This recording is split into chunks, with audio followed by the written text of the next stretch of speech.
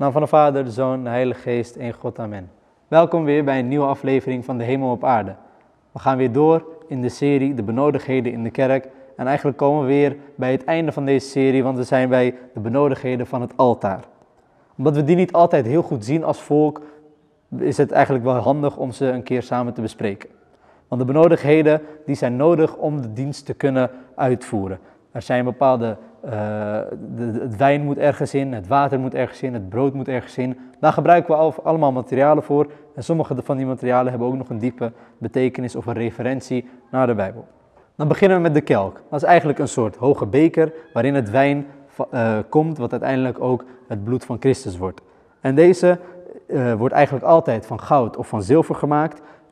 en die wordt dus gebruikt puur om het uh, wijn en het water in deze kelk te mengen en uiteindelijk kan het ook aan de, uh, het volk gegeven worden. Sint Paulus noemt het ook in 1 Corinthiërs de drinkbeker van de Here. Want als we eigenlijk terugkijken naar, het, uh, naar de Bijbel, naar het, de tijd van Jezus, daar zagen we eigenlijk dat Jezus ook een kelk gebruikte om het wijn destijds, tijdens het laatste avondmaal, aan zijn discipelen te geven. Gaan we door naar de pateen. Pateen is eigenlijk een schaal gemaakt van goud of van zilver en hierin komt het brood wat uiteindelijk tijdens de liturgie het lichaam van Christus wordt. Dit staat symbool voor enkele dingen die gebeurd zijn in de Bijbel. Ten eerste symbool voor, het, uh, voor de stal waarin Christus geboren is. Dus eigenlijk zoals het brood uh, in de schaal komt, zoals Christus zelf in de stal. Daarnaast staat het ook symbool het, van het graf waar Christus in gelegd werd. Gaan we door naar de ster. De ster is eigenlijk een metalen uh, vorm bovenop, die boven, tijdens de liturgie bovenop de pateen wordt geplaatst. En die heeft uh, Sint Johannes Chrysostomus voor het eerst geïntroduceerd in onze kerk, zodat eigenlijk het brood beschermt tijdens de liturgie. Zodat er geen vliegjes bij komen, zodat er geen uh, andere dingen bij komen. Dus het heeft ook een, een, een serieuze doel in onze kerk tijdens de liturgie. Daarnaast heeft het ook een symbool. Dat symbool gaat terug ook weer naar de tijd van Jezus. Het symboliseert de vorm van het graf. De graf heeft een, een soort koepelvorm en die kunnen we ook terugzien in het pateen met daarop de uh, vorm van de ster. Ook staat het symbool voor de ster. De ster die aan de wijze verscheen uh, uit het oosten om ze te richten naar de geboorteplaats van Jezus. Die, die zagen een ster voor zich en die leidden ze helemaal tot aan Bethlehem, de plek waar Jezus is geboren. Gaan we door naar de lepel. En die heeft eigenlijk een simpele betekenis. Die heeft als doel om het bloed te kunnen geven aan de gelovigen. En de gelovige, en de lepel, die wordt de mystier genoemd.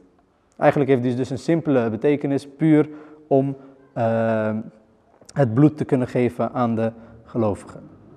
Daarna zien we ook allemaal glazen flessen in de, in de, in de altaarruimte. En die worden altijd gebruikt zodat het wijn en het water daarin bewaard kunnen worden, zowel voor als na de liturgie, zodat die niet zomaar ergens worden. Maar wat belangrijk is om op te merken, alles wat, alles wat gebruikt wordt in het altaar, mag alleen in het altaar gebruikt worden. Niet zomaar iedereen kan het, kan het aanraken, maar daar kom ik zo nog op terug. Om die kelk, waar we het helemaal aan het begin over gehad hebben, die drinkbeker, te kunnen bewaren, is er een kelkhouder. Die is meestal van hout gemaakt en die uh, heeft, dat is puur een, een rond symbool, een ronde vorm, waarin de kelk tijdens de liturgie gestopt kan worden. En die heeft ook twee kleppen aan de bovenkant die open en dicht kunnen, zodat de priester de kelk daarin kan zetten. En rondom de kelkhouder zien we over het algemeen altijd iconen. En dan zien we bepaalde iconen die uitgekozen zijn, namelijk de icoon van het laatste avondmaal, de Maagd Maria, aartsengel Michael, Sint Marcus en andere heiligen ook, die uh, erg bekend zijn binnen onze kerk. In de koptische vertaling heet de kelkhouder de troon. Want wat, wat hebben we afgesproken? We hebben afgesproken dat in die kelk, daar zit het bloed van Jezus, dus eigenlijk het bloed van de koning. Dus diegene, de, de kelkhouder, dat houdt de kelk in stand, dus is het de troon van Christus zelfs. Daarnaast zien we ook heel vaak tijdens de rondjes die de diakenen met de priester maken, zien we dat ze een kruis en een evangelieboek vast hebben. De kruis, uh, dat spreekt voor zich, is een kruis, maar het evangelieboek, daar staan staat het Nieuwe Testament in. Omdat dit het offer is van het Nieuwe Testament, wordt alleen het Nieuwe Testament in dat boek geschreven. Het is ook die Bijbel, dat, dat boek, het evangelieboek, wordt bedekt met een metalen uh, hoes eigenlijk. En die metalen hoes heeft aan beide kanten iconen. Eerst van de, aan de ene kant de icoon van het kruis of van de opstanding. Aan de andere kant van de Maagd Maria of van de heilige van de kerk. Daarnaast hebben we iets wat misschien niet heel vaak gezien wordt of opgemerkt wordt door ons. Dat heet de Sibori.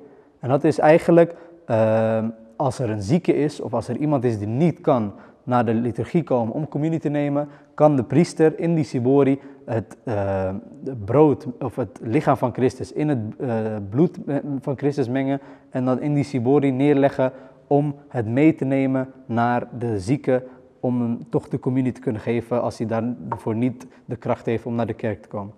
Wat wel opgemerkt moet worden is dat deze alleen voor deze reden gebruikt kan worden. Het kan niet gebruikt worden om de communie te bewaren en op een ander tijdstip te geven. Nee, het is puur om bijvoorbeeld mensen die ziek zijn of die gevangen zijn en toch communie willen nemen, dat die toch alsnog de communie kunnen nemen.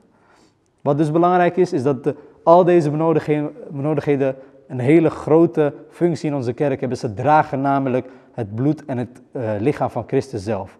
Er moet dus met veel respect mee worden opgaan. En om dat te waarborgen mag alleen de priester het overgrote deel van deze uh, materialen aanraken.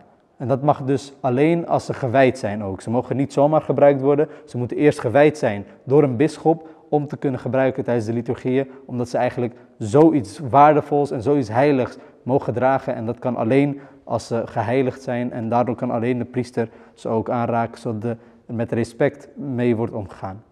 Dat was de uitleg over de altaarbenodigdheden. Ik hoop jullie weer volgende keer te zien. Tot dan.